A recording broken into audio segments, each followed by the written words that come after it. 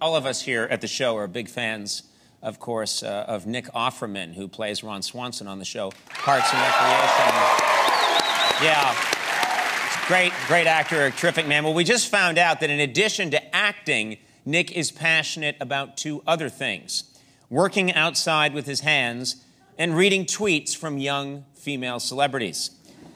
So here is Nick combining both of these passions in a new segment we're calling Nick Offerman from Parks and Recreation reads tweets from young female celebrities. Nick Offerman from Parks and Recreation reads tweets from young female celebrities.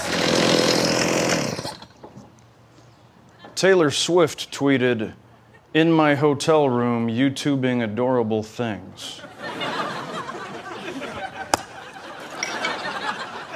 iCarly star Miranda Cosgrove tweeted, All my favorite people are getting new puppies. Selena Gomez tweeted, About to have a crazy socks party. Miley Cyrus tweeted, Can't stop eating walnuts. Ashley Tisdale from The Suite Life of Zack and Cody tweeted, Cardio and then yoga? I am gonna be sore. Nick Offerman from Parks and Recreation reads tweets from young female celebrities. Thank you, Nick. That was fantastic. That was great.